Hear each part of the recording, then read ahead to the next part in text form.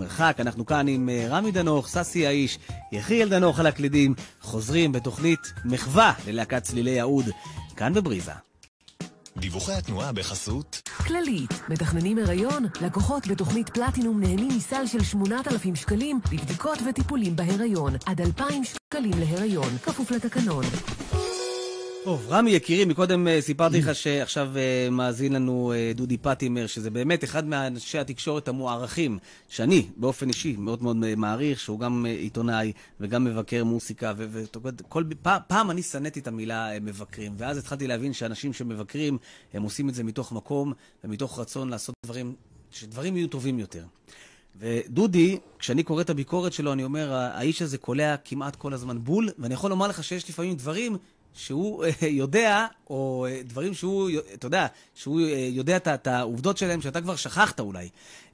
כי האיש הזה חוקר מקרוב ולעומק על תולדות המוסיקה הישראלית, ועכשיו הוא אמר לי שיש סיפור מאוד מאוד מעניין מאחורי השיר איילת חן, אז בבקשה. תשמע, קודם כל אני, אני באופן אישי מאוד מאוד מעריך את דודי, והוא יודע שאני שולח לו הרבה, אני מפרגן לו הרבה, משום שזה אדם פשוט מאוד זה אחד בדור. אני אומר לך, זה, זה, זה כמו המשיח. מסכים איתך.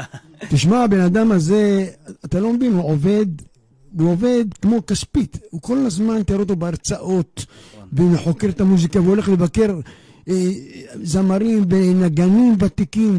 תשמע, הוא עושה עבודת קודש. אין, אין לי מילים, באמת. עכשיו, לגבי השיר שהוא ביקש, איילת חן, זה ככה, זה שיר שאני בזמנו, שהייתי ילד, בן שבע, שמונה, גדלתי על זמר שקראו לו שלמה מוקעה.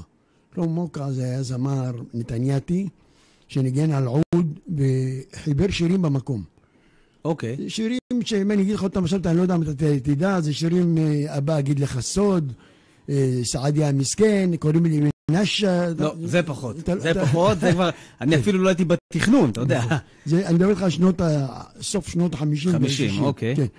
ואז, אתה יודע, כשהוא מנגן על עוד, יום אחד, באחד הימים, הוא היה חבר טוב של אבא שלי, ועלה לי מוזה על, הש... על השיר איילת חן, כשהוא ניגן בעוד, אז אני, הוא אמר לי, אולי, כאילו, הוא ראה שאני מוכשר, הוא אמר לי, אולי תעשה משהו, תזמזם משהו.